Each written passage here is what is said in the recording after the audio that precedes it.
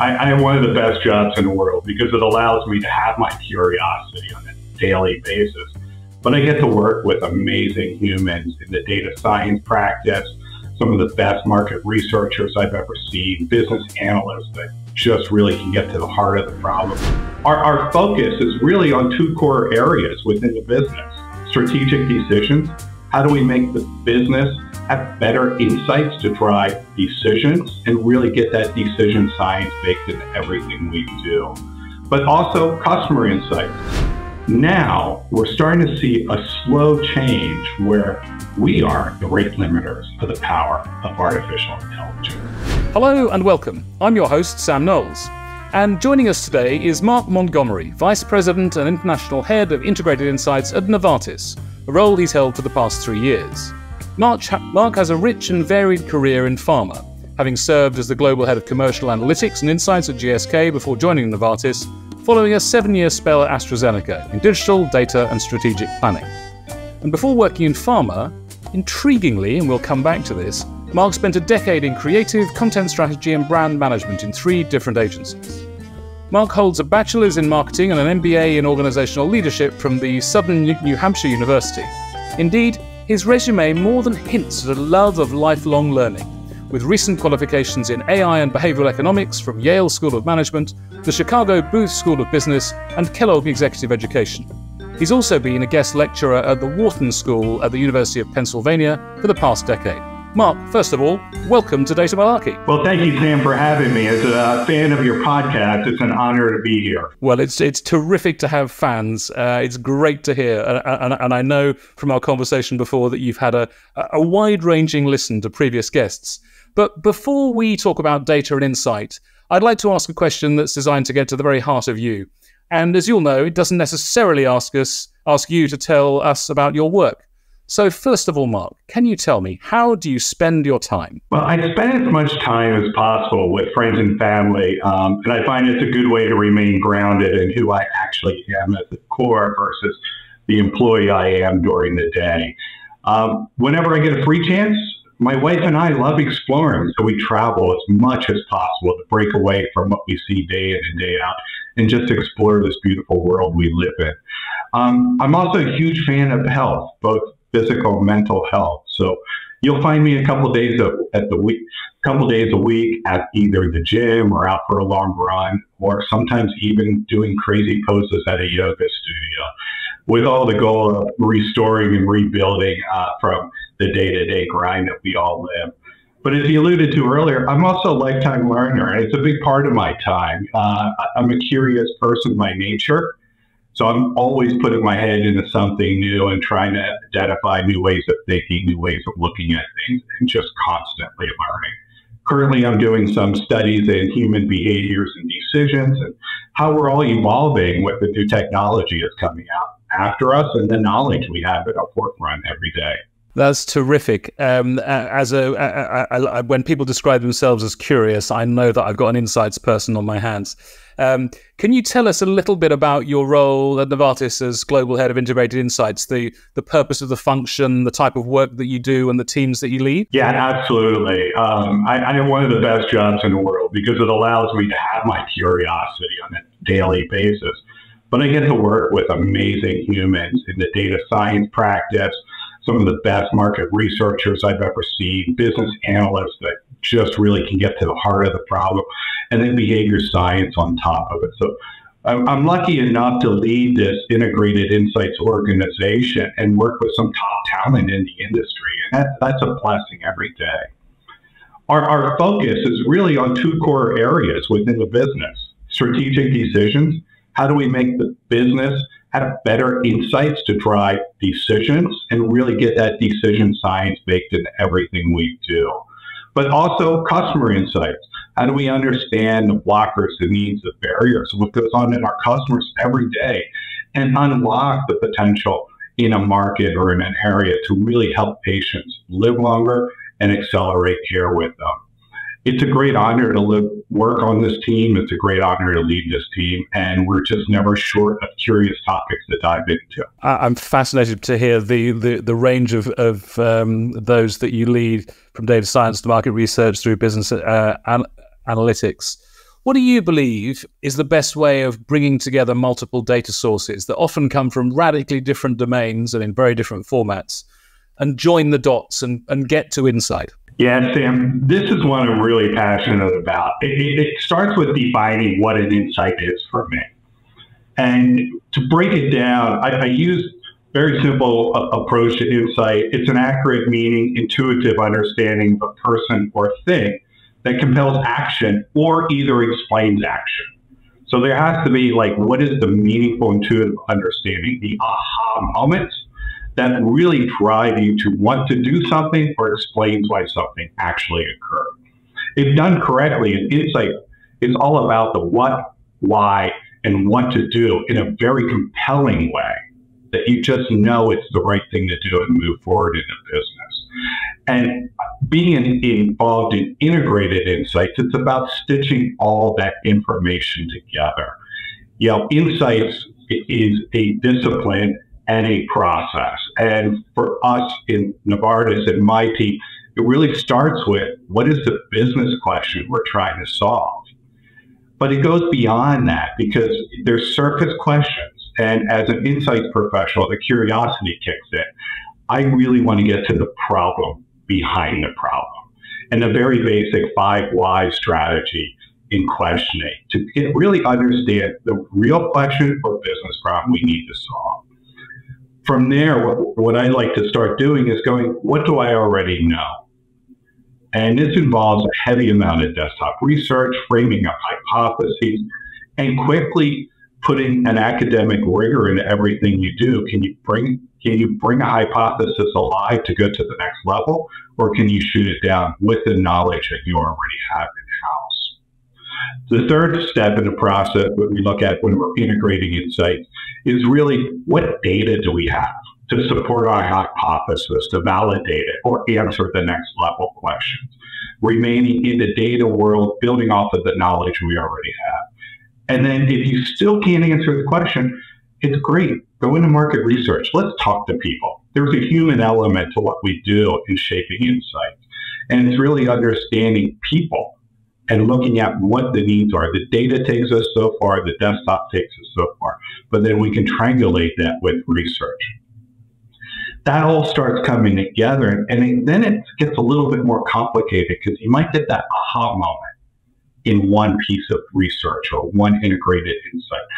And then you have to understand how that ripple effects through all aspects of the business. Everything is connected in insights by a red thread, often not seen.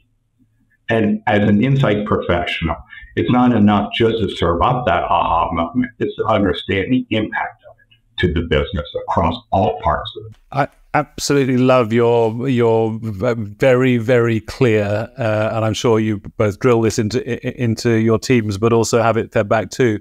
With this meaningful, intuitive understanding, I think I think that's a wonderful, wonderful uh, definition. I'm also a big fan, like you, of um, of the of the root cause analysis of the five whys of really just asking, you know, uh, from personal introspection about, you know, why am I behaving in this way to uh, to to proper business understandings. Um, uh, and uh, I'm also very, very pleased to hear that you're a big fan of supporting and testing hypotheses with data, a proper Popperian, and not not not looking to prove hypotheses, but supporting and testing them. Now, listen, I mentioned before that you before you started working in pharma. I know you've been you've been in, in that in the, the sector for for many many years, but you spent maybe up to a decade in creative agencies. I'm interested to know what you bring from your time spent working in creative agencies to the world of pharma, because it's not necessarily the the, the, the most um, well what one finds on on the CVs of many people working in your sector. Yeah, it, it's a kind of an odd mix of art and science coming together, often in my head, Sam. Um, but I, I, find it a, a, good mix, and good creative is no different than good insights. Um, you know, when when I look at what creative can do and solid creative is like being hit upside the head with a with a brick. And you stop immediately and you think and you resonate what that means to me. And often when you see a great piece of creative you're not sure why it made you stop in your tracks but it made you stop and it made you think deeper. That's incredibly powerful That's incredibly powerful. And there's a lot of people out there that have amazing gifts and creativity that can really pause and get people to think differently. And it's such a talent that's underrated in everything we do. And what I found in the creative world, it was a great place to explore the boundaries of thinking and really understand what resonates with humans, our customers at the end of the day. And it gave me a deep foundation understanding of individuals and how they think, what their motivations are, and what actually stops them. And I've been able to leverage that approach in strategy and insights to really kind of pause and go, how do we bring things together to make it better and really understand the problem behind the problems? The, the beauty of good creative is good creative is very collaborative. You have copywriters, you have production artists, you have the visual designers, you have the strategists to pull it all, and it really becomes a team sport. Insights is no different. It's also a team sport. We all have, we all look at things slightly different. And same with creative, pulling people together to look at insight, to look at creative and work together is incredibly powerful. So I took that with me. Look at problems different, work in a collaborative mindset, and focus on the customer. What really will resonate with them has been a, a continuity across my career the whole time. What comes up in insights has to execute in the market. And that's a real, real big difference that carried over throughout my career. Makes makes absolute absolute perfect sense. I'm I'm so uh, encouraged to hear you talk about uh, the human motivations and behavior. You know, as the American business writer Dan Pink um, says in his book, uh, "To sell is human." We're all in the moving business, the persuading business. But that moving and persuading business, we can't get there without this proper understanding of the audiences that we're looking to to take on the journey with us. Tell me, I, I think I'm right in saying that you're quite a fan of, of uh, the Stanford D School IDEO design thinking uh, way of working. Um, can you tell me why you believe that's such a useful approach some, for someone who works in the insights business? Yeah, uh, design thinking is really one of the most powerful ways to unlock the potential of a team to really interact with design principles and deliver value to the customer and the shareholders of the business. And, and the great part with design thinking and what really got me exposed to it is the, the power to unlock a collaborative approach. And that collaborative approach begins with a beginner mind. It's very interesting when you study when you study children and anybody who's had has children or has had children grow up in their household, they know when they're very young, everything's why, why, why. Why is the sky blue? Why is your yard green? Why is that leaf brown? Children ask questions constantly, and then they want to know why when you answer. it. As a parent, it drove me absolutely crazy that my children were asking me all this, but they were embracing their curiosity. And by the time we turn about seven and we get into the structure of school and the whole nine yards that go along with that, we lose that ability to ask the why. We're afraid to ask it. Design thinking is all about starting with empathy of the customer and asking the why they're going through this. What are they experiencing? Why is this important to them? What are they trying to do? And it takes you out of it and gives you a beginner's mind, like a child, to really get to the root problem a customer or business is trying to solve. And it's those fresh eyes, that empathy followed by the whys, that is the power of design thinking. I, I, often when I when I'm running uh, training in uh, in insight and insightful thinking, I often say, you know, insight and empathy they're not the same thing. But you draw a Venn diagram, there's going to be a huge shade between them. And your your mention of beginner's mind um, takes me back to my first bit of uh, education as as uh, I, you know you can take the classics out of the out of the man, but you can't take if you take the man out of classics, you can't take classics out of the man. As regular listeners will know, before I retrained as a psychologist, I was a classicist. Um, and I think in crafting really smart questions for research and looking to for the right data to surface the, these relevant insights, I've always been inspired by the words of Socrates. I mean, Socrates didn't write a thing, but the Socratic paradox that all that I know is that I know nothing parking our assumptions, our biases, our prior knowledge and prejudices at the door, you know, we have a much better chance of getting to insight. How do you believe that uh, insight and analytics professionals can best avoid internal biases and test, as you say, rather than seek to prove their hypotheses? Yeah, it, it, that is such a great question and a very tough one, and a very tough one because we all grow up in our careers wanting to be smart. We all want to have the answer. We all want to show up bigger than everybody else. That's how we're wired as individuals, and our careers get rewarded for that. But in insights, we have a responsibility to be the central point of truth and really shape the narrative of where an organization is going and how to maximize an organization potential. That that comes with a certain level of responsibility you don't normally see in an organization construct. With that, we owe it to ourselves to leave our biases the door. Our job is to be curious and be that internal scientist proving ourselves wrong or that academic and really proving ourselves wrong. That's why it's so important in insights to work in a collaborative mindset because if you sit and look and stare at data long enough by yourself or stare at a research project and start building the story yourself, you're going to have such biases going on that your final result will be as good. But if you partner up with two or three people and you read the business as a group and put that rigor in and try to prove yourself wrong along that journey, you really can make the right decisions that are guiding a business in the right direction. And that's incredibly powerful. Perfect. Perfect. Uh, completely, completely aligned with you. What do you? I, I know that, that we, we've talked about kind of moving from data to insight. One of the things that I'm really interested um, is how some organizations, culturally, some individuals, some teams can stumble when it gets. You know, we, we, we get the we get the we get the um, the profound and useful understanding, uh, as I would call it, or the you know the meaningful, intuitive understanding, as as as, as you put it so eloquently. What do you think um, is the best way of getting individuals, teams, whole organizations to move from insight to action? This is one of my favorite topics at all because it's really about insight to action. It's how do we shape insights that you can execute on is at the root of what we need to do as insights professionals. It actually goes back one step, Sam, in my thoughts. It's really what is an insight versus a data point.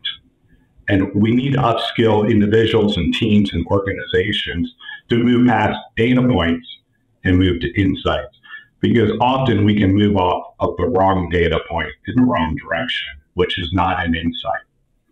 And so getting to the point where we're truly communicating what insights are and aligning teams on what they are and what they're not is the first step in that journey. The second step for me comes down to one simple thing. What is the answer we're trying to solve? And once you get to that questioning point of view or the business problem you're trying to solve, it becomes very powerful of why do you want this information would be the additional question. How are you going to change the business with this information? What will this do for our customers? And is this even a priority? You in the insights business, we have a backlog of things to solve constantly. Is this a priority now? And if I do solve it, what are you going to do with it? How, how are we going to move on? And is this the right use of our time? So answering those questions even before you move into analysis, even before you stand up a study is so important. And that sets you up for action because you already had the conversation before you put any investment in. And then understanding that this is a process. And as you go through shaping your insights, you focus on what's meaningful and measurable. You need to understand that two goes hand in hand. It could be meaningful, but if I can't measure a change on the back end, is it worth moving on? And those two go hand in hand. And as I said before, collaboration is key. It is a team sport, and you do have a ripple effect as you read the business together. And if you if you get used to this team sport, uh, you know, it's like rugby. Everybody's playing different parts of the field, but you all have to come together for the scrum. Read the business as a scrum. That will inspire action. of others. And that's a very powerful. The final thing, you know, going back to our design thinking conversation, that's really a great way to bring insights action. I've used that quite a lot in my career to inspire go to market strategy, business strategy, product development, and marketing capabilities as well as creative. It's a great way to stitch it all together in a collaborative way that's breaking down the normal burial barriers in an organization and bringing that designer's mind to everything we do. So those are a couple of the steps that I, I like to apply for insights action. Like, like very much. I, I, I particularly like your your your rugby analogy, I'm I'm often struck. I mean, I know the in I, am not sure if you're a fan or not, but in in now I was watching quite a lot of the World Cup that took place in France recently. Um, and I, I, suppose the, the, the modern backs are much more uh, kind of physically like the forwards. They're much more pumped up, much more. Be- but but but one of the things I I, I I I haven't played rugby for many many years. I was no good at it. But one of the things I was always I'm always struck by is how perfect it is um, at one the one the collaborative piece, but two really anybody of any physical shape or size has a role to play. It's a really kind of it's a really inclusive game uh, for, for men and women. So I think it's I think it's a lovely analogy. Let's uh, let's shift gear a little bit. I, I, mentioned earlier on you've recently got you've recently um, uh, been studying AI, um, and I wonder if you feel excited or threatened or, or, or, nervous or maybe all of those about the, the, the, the sudden emergence of powerful tools. I mean, obviously in the generative side, but actually, actually more broadly, we seem to have reached an, an important moment. How does that make you feel? Well, I'm on the excited camp of AI. I, I, I personally witnessed, like many of us do, uh, being a being a self-described nerd in this space. Um, I acknowledge that AI is everywhere, and I was able last winter, standing on the beach in Florida, watched SpaceX launch one of the rockets, and it was such an amazing thing to watch this AI-driven rocket take off, and the big bangs, and you know, just a flume of smoke coming up behind it was mind blowing. Humans are actually able to set a rocket up like that. But the most impressive part of that visual was after the smoke cleared, is watching the rockets return back to the launch pad and land straight up on their own, all driven by AI. That blew my mind. It's one thing to send it up, it's another thing to have it land before. Yep, that is the power of AI in our lives already. I have a car that's AI driven, and I drove it last night on full autopilot, and it parked itself, and it just is part of my life.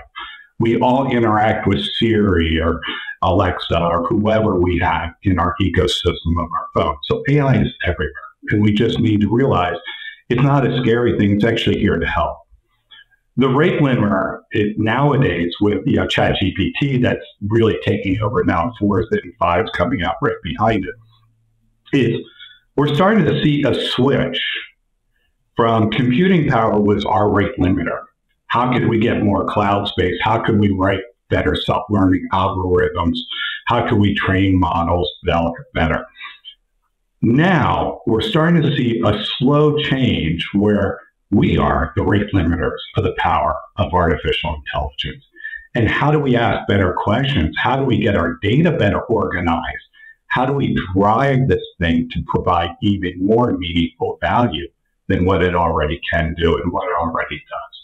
So we're at a very interesting inflection point where we're seeing a shift where the computing power was our rate limiters. Now we have become the rate limiters of what we can do with that computing power. That's that's a that's a wonderful wonderful uh, way of looking at it. Um, and I and I'm not of course asking you to reveal any kind of trade secrets, but as a as a leader of global integrated insights uh, in one of the world's biggest pharma businesses. Um, can you give us a hint about what Novartis is, do, is doing to harness the power of AI to drive insightful thinking? I can. Broadly across the, organ, the not our organization, the industry as a whole, you're seeing AI pop up in clinical trials and looking at data different, processing the data quicker. Um, that's a huge change. The other exciting part that we're seeing, you know, in, in life sciences and healthcare at all is science itself from the computing power changes is advancing so quickly. There's one statistic I saw a couple days ago that by 2030, science will double every seven years. So our knowledge of science will be completely different in seven years from what it is today. That is mind blowing. It used to be 50, you know, 50 years, 25, 50 years between changes in scientific approach. It's now looking at doubling, and that's all because of computing power. What does that mean for patients or doctors? Personalized medicine is only going to change and become part of all of our lives. We all are slightly different as humans, and that requires us to have personalized care. So you're starting to see that pop up more and more. And then in the insights world in general, what we're seeing is asking questions of the knowledge you already have in house. I'm seeing that in pharma and out of pharma as well. The new way of looking at insights and data is to ask questions of it and not as much analysis as you did before, which requires us to rethink how we ask questions and how to be more clear, more strategic about our questions. How do we put strategic curiosity in people to go deeper into the data at a faster rate than we ever did before? Is a great opportunity, not just for pharma, but for everyone. Very, very interesting. Um, if we'd have been having this conversation, well, we probably wouldn't have been having this conversation. Certainly not via this medium, um, uh, but kind of ten years ago. But if we were, if we were, if we had been, if we'd met and talked ten years ago, um, we might have talked all about big data. Um, do you believe that big data is necessarily better data? Do you think we've kind of, do you think that the power of AI has kind of has almost sort of rendered the the concept of big data meaningless? I'm just in, in, interested what you feel about that. Yeah, interesting question, Sam. Very interesting. Ten years ago, we probably would have sat around and talked over a pint or a cup of coffee about the power of big data, how it's going to change our whole life. Um, it was kind of the buzz there for quite a few years. I'm not a big fan of big data. I do not think big data is better, better data. I actually see the term big data as a distraction to most organizations as a whole. Um, I'm, I'm of the camp nowadays, you know, a little more mature in my career, and been down the path a couple times here. Most organizations struggle to manage and leverage basic data sets in a consistent way. Uh, managing data is hard. Getting data organized, keeping it organized, breaking down silos, setting up ecosystems, all expensive and hard to do. Uh, so, how do we get excited about the basics and really learn to leverage them before we jump into the shiny objects of big data, where I like to call jump into the big data swamps that never really bring their value. So that's a tough one. And, and once an organization becomes brilliant at the basics and leveraging the data that they have in hand, then we should really consider what is the next best use case to build off of our infrastructure having big data doesn't mean you need to use it. You need to focus on the use cases that bring value. You truly understand the feasibility of that use case, but then you're also looking at the total cost of ownership of that use case over a life cycle of that development of the new product or capability within the organization switching topic, uh, or I mean, it's all connected, but switching topic a little bit. Um, I don't think there's anybody in any organization that ever says these days we don't have enough data. They often say they don't have we don't have enough insight, and you've been very eloquent about the about the tools and techniques uh, and approaches that you and your teams take to to move from data to insight. But thinking about the the the fact that that data is so important in communication and in storytelling in your mind, what is the best way to combine narrative and numbers to, to, to tell stories with more impact? Yeah, the, the art and science of data translation. And it is it is a little bit of art and science. Also an area I see quite often where insight professionals trip. We get so wrapped up in the details of what we're doing. We get hung up on the data. We get hung up on a you know a research project coming through we forget that our job is to connect data to the business, translate that in a story. For me, it breaks down into the narrative that you need to resonate with your audience. And if you look at what a good nonfiction book is, a good nonfiction book is all about information that is factual and true to that individual or that storyline. But you don't put it down. It's very compelling. It keeps you going. It's the art of telling a story around facts that is often missed. And if you lead with empathy and you really connect with your internal customer early on in your analysis, you really start connecting with knowledge. And if you script it right, just like a good nonfiction book, you'll start looking at how to inspire people and staying true to the root business question you're trying to answer. It's not an easy one to teach, and it's not an easy one to master. But there is, I'm very fortunate to work with a group um, that is incredibly good at it. Um, but they put a lot of work into shaping that story. And visualization goes a long way. You know, most of us are visual leaders. We look at things, we can assume, we can absorb visuals much more faster. So, how do we share a story in visualization faster than we can in a big slide deck? We always need to pressure test ourselves. Can you read this in two minutes and really get the, the root cause of it? That's a good story. If it takes me longer than that, it's probably not a good story. I, I think that's a very, very fair yardstick. Um, what's the worst example or the most glaring example of a misuse of data that you've ever observed? either in your career or, or maybe more broadly in the public domain? Yeah, that, that's a big pet peeve of mine. Um, data is often used without context. And I see it everywhere from the media to I see it in corporate meetings. Again, data is just a data. Without context, it's not an insight. So if you throw up a statistical number, which you see, we all see quite often, what does that really mean? you know, statistics, you know, there's, there's, you need to have the context connected to it. And we often don't see that. And often we become immune from challenging that too. So that, that's a big pet peeve of me I see everywhere. The other one I see, I've seen a couple times in my career is big data infrastructure that's been built around false positives. And you, I've ran into this a, a, few times in my career when one or two people go off and do this skunk works and come back and say, you know, basically we solved all the problems in the world. Now give us, you know, a million pounds. We're going to productize this and scale it. But because it was done in an incubator, it's loaded with false positives. And it just becomes a big drain on the organization, chasing these false positives.